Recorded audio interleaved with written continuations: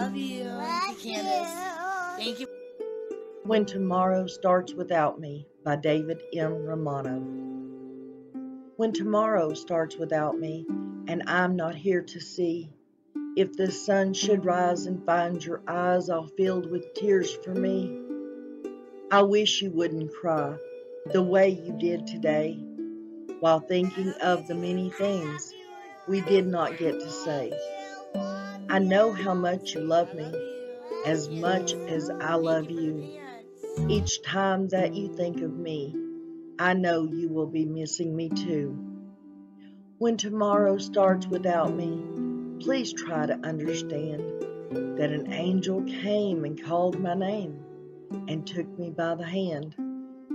The angel said my place was ready in heaven far above, and that I would have to leave behind all those I dearly love. But when I walked through heaven's gates, I felt so much at home. When God looked down and smiled at me from his golden throne, he said, This is eternity, and all I promised you. Today, for life on earth is done, but here it starts anew. I promise no tomorrow, for today will always last. And since each day is the exact same way, there is no longing for the past. So when tomorrow starts without me, do not think we're apart.